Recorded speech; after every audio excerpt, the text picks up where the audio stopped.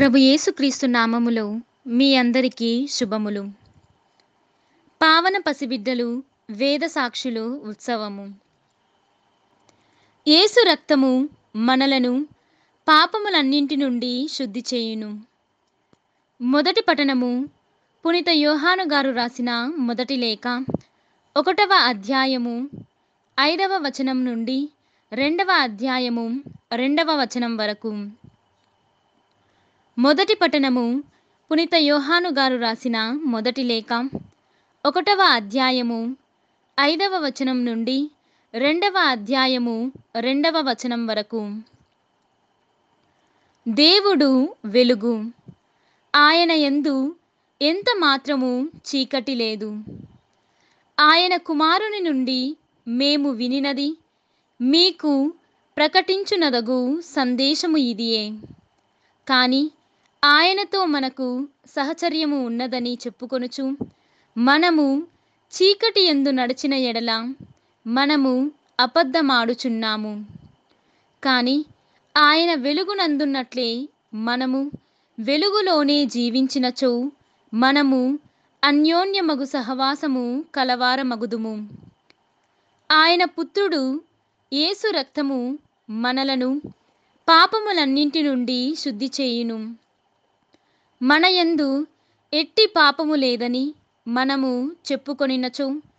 మన యందు ఏమాత్రము సత్యము లేకుండుటయే కాక ఆత్మవంచన చేసుకొనిన వారము అగుదుము. కానీ దేవుని ఎదుట మన పాపములను ఒప్పుకొనినచో. ఆయన మన పాపములను క్షమించి మన అవినీతి నుండి మనలను శుద్ధి చేసి నీతిని చేకూర్చును. కనుక ఆయన విశ్వసనీయుడు నీతిమంతుడు. మనము ఎట్టి పాపములను చేయలేదని చెప్పుకొనినచో మనము దేవుని అసత్యవాదిని చేసినట్లగును. ఆయన వాక్కు మన ఎందు లేదు. మీరు పాపము చేయకుండుటకై నా చిన్ని బిడ్డలారా మీకు ఇట్లు వ్రాయుచున్నాను. కానీ ఎవరైనా పాపము చేసినచో మన కొరకు తండ్రి సమక్షమున న్యాయవాదిగా విన్నవించుటకు నీతిమంతుడు యేసుక్రీస్తు మనకు కలడు. క్రీస్తే మన పాప విమోచకుడు.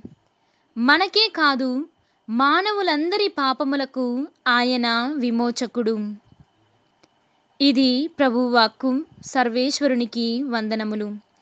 భక్తి కీర్తన. మనము వేటగాండ్ర ఉచ్చుల నుండి పక్షి వలె తప్పించుకొంటిమి. మనము వేటగాండ్ర ఉచ్చుల నుండి పక్షి వలె తప్పించుకొంటిమి.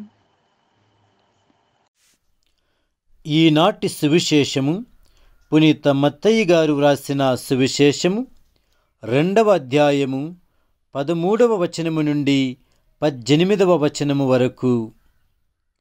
వారు వెళ్ళిన పిదప ప్రభుదూత ఏసేపునకు కలలో కనిపించి శిశువును చంపుటకు హేరోదు వెదకబోవుచున్నాడు. కావున నీవు లేచి బిడ్డను తల్లిని తీసుకొని ఐగుప్తునకు పారిపోయి నేను చెప్పు వరకు అచ్చటనే ఉండుము అని ఆదేశించెను. అంతట ఏసేపు లేచి ఆ బిడ్డను తల్లిని తీసుకొని ఆ రాత్రి ఎందు ఐగుప్తునకు వెళ్ళి హేరోదు మరణించినంత వరకు అచ్చటనే ఉండెను. ఐగుప్తు నుండి నా కుమారుని పిలిచితిని అని ప్రవక్త ద్వారా ప్రభువు పలికిన ప్రవచనము నెరవేరుటకు అట్లు జరిగెను. ఆ జ్ఞానులు తనను మోసగించిరని హేరోదు భావించి మండిపడెను. కనుక జ్ఞానులు తెలిపిన కాలమును బట్టి బెత్లహేము నగరమందును ఆ పరిసరములందును ఉన్న రెండేండ్లు అంతకంటే తక్కువ ప్రాయము గల మగ శిశువులందరినీ చంపుడని అతడు ఆజ్ఞాపించెను. రామాయందు ఒక అర్థనాదము విననయ్యెను అది ఒక మహోరోదనము. రాహేలు తన బిడ్డల కొరకై విలపించుచుండెను. వారి అందరి మరణము వలన కలిగిన దుఃఖము నుండి ఆమె తేరుకొనకుండెను అని ఇర్మియా ప్రవక్త పలికిన వాక్కు నెరవేరెను. ఇది క్రీస్తు సువిశేషము. క్రీస్తువా మీకు స్థుతి కలుగునుగాక.